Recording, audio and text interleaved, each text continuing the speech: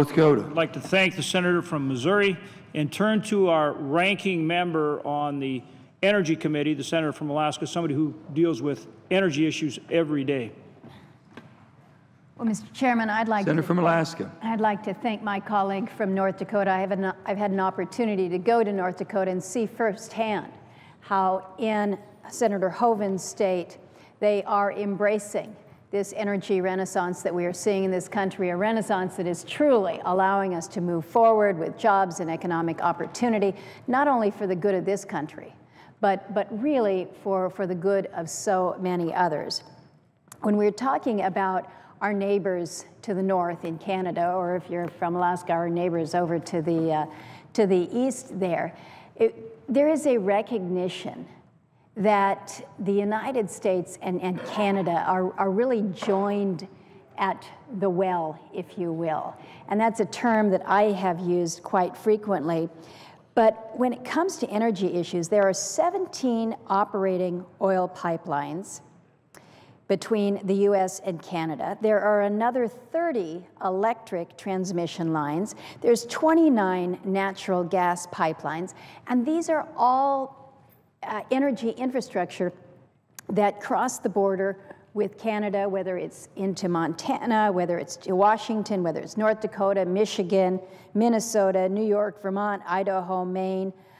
You, you have to wonder, you have to wonder, aren't these all in the national interest here? What is so unique, what is so compelling about this Keystone XL pipeline that it is not only taking the five years of study that has already done, but is now on indefinite hold for yet further study.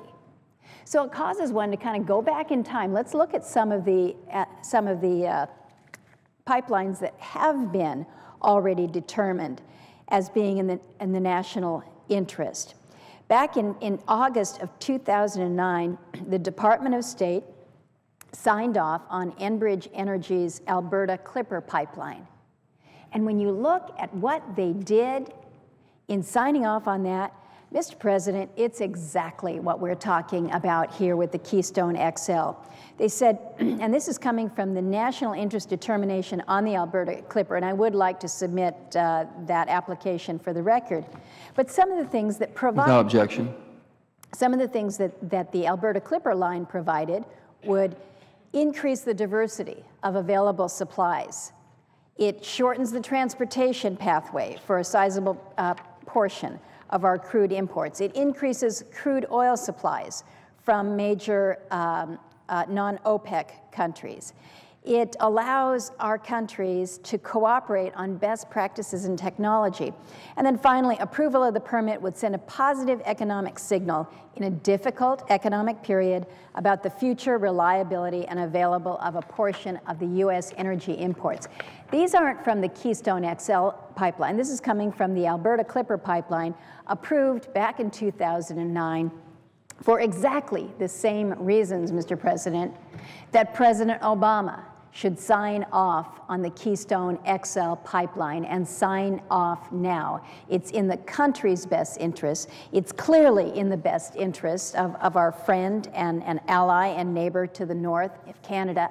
I think we recognize that there is so much opportunity for us, but we need to get out of the way of the stops and the hurdles that have been placed by this administration, limiting our jobs, limiting our economic opportunities, and truly working to restrict our energy independence. And with that, Mr. Chairman, Mr. President, I'll yield the floor as I know uh, several other colleagues wish to speak in the time remaining.